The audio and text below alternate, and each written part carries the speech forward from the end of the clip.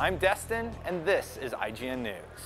A new Metroid game in the form of a cooperative multiplayer is heading to the 3DS in 2016 as Metroid Prime Federation Force, Nintendo revealed during its E3 digital event today.